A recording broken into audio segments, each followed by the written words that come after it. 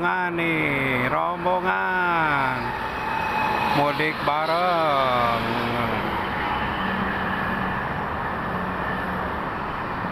Oh, ada PO Haryanto untuk tidak lama-lama di itu karena untuk menghindari kemacetan.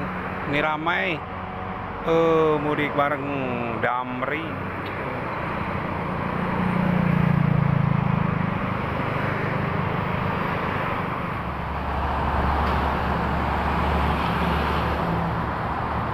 Dua tujuh trans